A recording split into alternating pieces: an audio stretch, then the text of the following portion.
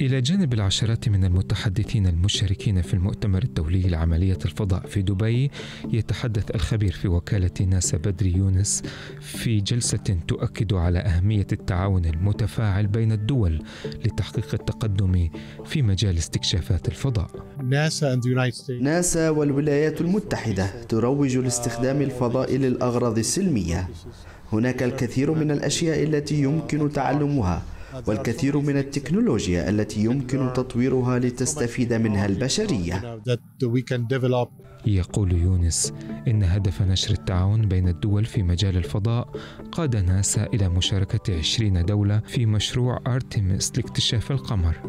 المؤتمر الذي يقام للمرة الأولى في العالم العربي يشجع على طرح الأفكار العلمية الجديدة وتوسيع آفاق الابتكار ما يسهم في دعم تقدم قطاع الفضاء. من خلال هذا المؤتمر عندنا أكثر من 560 ورقة عمل وورقة بحث آه، يتم عرضها من خلال ورش العمل المختلفة، هناك مشاركة عالمية وكالات الفضاء العالمية كوكاله الفضاء الأمريكية ناسا، وكاله الفضاء الأوروبية بالإضافة إلى شركات مختصة في تطوير الأقمار الصناعية والأنظمة الفضائيه وأيضا إدارة العمليات الفضائية، هناك أيضا مشاركة قوية من آه، جامعات ومراكز بحثية عالمية وأيضا مشاركات محلية من جهاتنا المختلفة.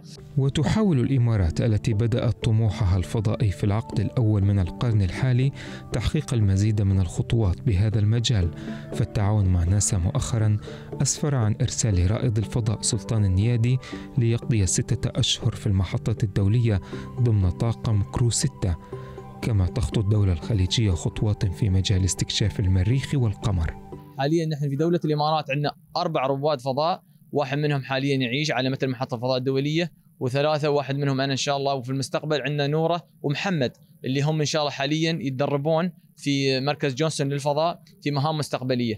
شركات أمريكية متخصصة في الاتصالات الفضائية شاركت في المعرض المقام على هامش المؤتمر لتقديم أحدث الابتكارات للمنطقة.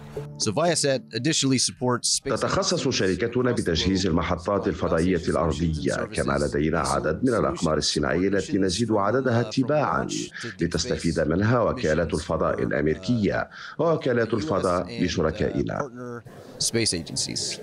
وقاد اهتمام الإمارات في مجال الفضاء إلى إحرازها المرتبة الحادية عشر عالميا في مجال الفضاء في حين وضعت الدولة استراتيجية للاستثمار في قطاع الفضاء أنفقت نحو ثلاثة مليارات دولار خلال الفترة من عام 2015 إلى عام 2020 خلال المؤتمر الدولي لعمليات الفضاء تشارك الدول ذات الباع الطويل في هذا المجال خبرتها مع الدول حديثة العهد في هذا المجال بما يحقق ويخدم الاستكشافات والمهمات المستقبلية.